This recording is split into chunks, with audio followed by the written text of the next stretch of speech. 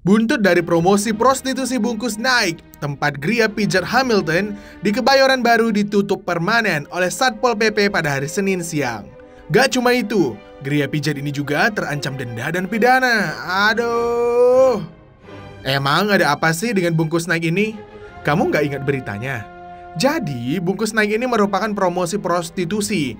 Para tamu diperbolehkan mengikuti pesta di mana bisa melakukan hubungan seks dengan beberapa perempuan yang disediakan penyelenggara.